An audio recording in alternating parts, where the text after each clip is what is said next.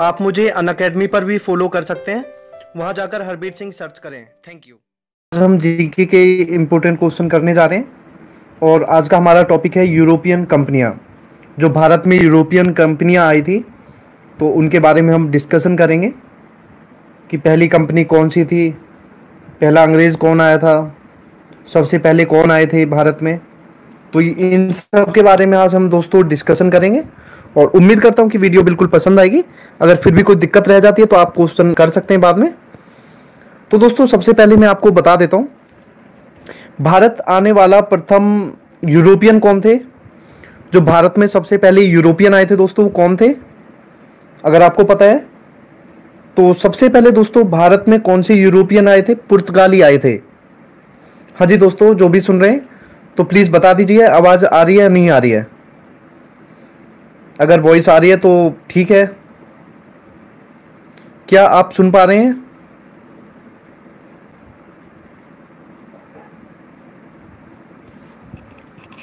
हाय ईश्वर जी। हाँ जी, मैं बोल रहा हूँ कि क्या आप तक आवाज़ पहुँच पा रही है?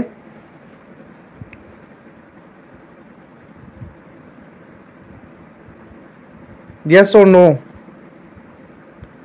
शायद आवाज़ नहीं पहुँच पा रही आप तक। यस यस पहुँच रही है तो फिर ठीक है, फिर करते हैं। Okay Anil ji yes thank you तो दोस्तों, भारत आने वाले जो प्रथम यूरोपियन कौन थे? पुर्तगाली थे। पुर्तगाली सबसे पहले भारत में आए थे, जो यूरोपियन आए थे सबसे पहले। तो दोस्तों, वो कौन थे? पुर्तगाली। इसके बाद दोस्तों, आपको बता देना चाहता हूँ, भारत में जो पहली फ्रेंच फैक्ट्री कहाँ पर स्थापित की गई थी? भारत में जो पहली फ्रेंच फैक्ट्री थी, वो कहाँ पर स्थापित की गई थी? सूरत में स्थापित की गई थी। भारत में पहली फ्रेंच फैक्ट्री सूरत में स्थापित की गई थी और जो सबसे पहले भारत में आए थे, हाय, जो भारत में सबसे पहले यूरोपियन आए थे दोस्तों कौन थे? पुर्तगाली थे। इसके बाद क्वेश्चन है दोस्तों, निम्नलिखित में से कौन सा भारत आने वाला पहला अंग्रेज़ी जहाज़ है? मतलब कौन सा पहला अंग्रेज़ी जहाज़ भारत आया था? उसका नाम बताना है। ऑप्शन है एलिजाबेथ सेकंड है बंगाल थर्ड है रेड ड्रैगन एलिजाबेथ बंगाल या रेड ड्रैगन इनमें से कौन सा अंग्रेज़ी जहाज़ है जो भारत में सबसे पहले आया था? एलिजाबेथ बंगाल या red dragon oh so hot Elizabeth Bengal या रेड ड्रैगन हाँ जी हाँ जी रेड ड्रैगन बिल्कुल करेक्ट आंसर है। तो दोस्तों, इसके बाद मैं क्वेश्चन पूछना चाहता हूँ आपसे। जो भारत में सबसे पहला अंग्रेज़ आया था, वो कौन था? उसका क्या नाम है? जो भारत में सबसे पहला अंग्रेज़ आया था, वो कौन था? उसका नाम क्या है? भारत आने वाला पहला अंग्रेज़ कौन था?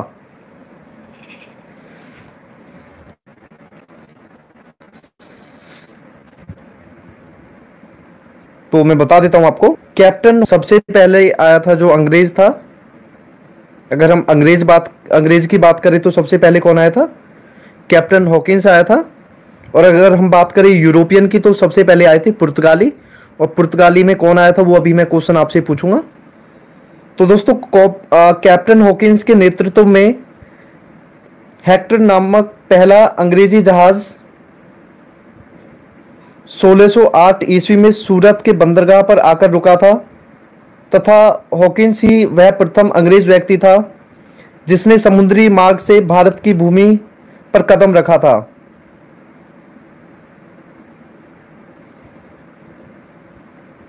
इसके बाद दोस्तों भारत में डच का सबसे प्राथमिक सॉरी प्रारंभिक उपनिवेश कहाँ था?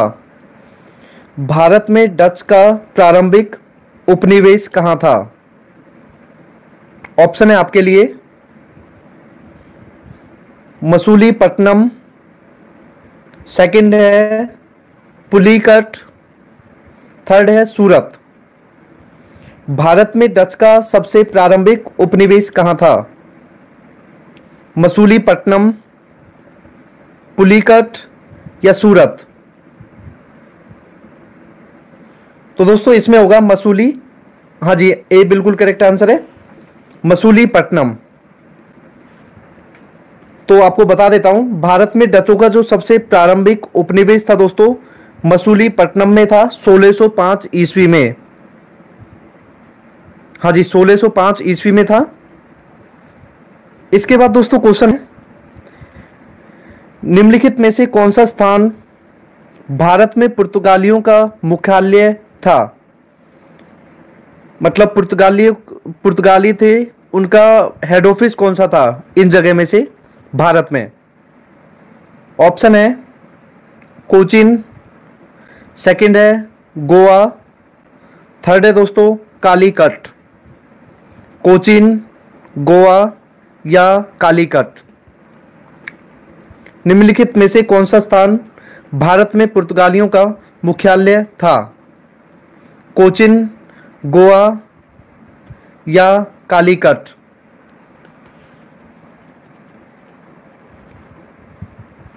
तो इसका जो करेक्ट आंसर होगा वो क्या होगा? गोवा। तो दोस्तों, मैं मैं आपको बता देता हूँ।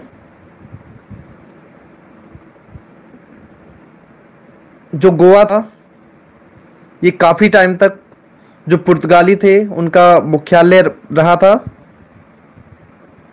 तो इसका करेक्ट आंसर होगा गोवा। इसके बाद एक इंपॉर्टेंट क्वेश्चन है दोस्तों, और ये क्वेश्चन बहुत बार पूछा गया है, और ग्रेजुएशन लेवल पे भी पूछा गया है ट्वेल्थ लेवल पे भी पूछा गया है। तो क्वेश्चन आप ध्यान से सुने। अंग्रेज़ शासक चार्ल्स द्वितीय को किसकी राजकुमारी से विवाह करने के लिए जो मुंबई था, दहेज में दिया गया था। अंग्रेज़ शासक था दोस्तों, चार्ल्स द्वितीय। तो उन्होंने किसकी राजकुमारी से शादी की थी और उस शादी में उसे मुंबई दहेज में मिला था। तो किससे शादी की गई थी? ऑप्शन है आपके लिए। डेनमार्क, सेकंड है फ्रांस थर्ड है पुर्तगाल। डेनमार्क, फ्रांस या पुर्तगाल? इनमें से कौन सा करेक्ट आंसर है? चार्ल्स द्वितीय की शादी हुई थी और उस शादी में हाँ जी हाँ जी, पुर्तगाल बिल्कुल करेक्ट आंसर है आपका।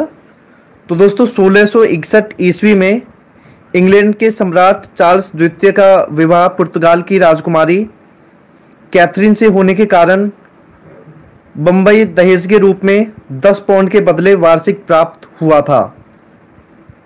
कैथरीन से होने के कारण जो शादी हुई थी, मुंबई दहेज के रूप में 10 पाउंड के बदले प्राप्त हुआ था।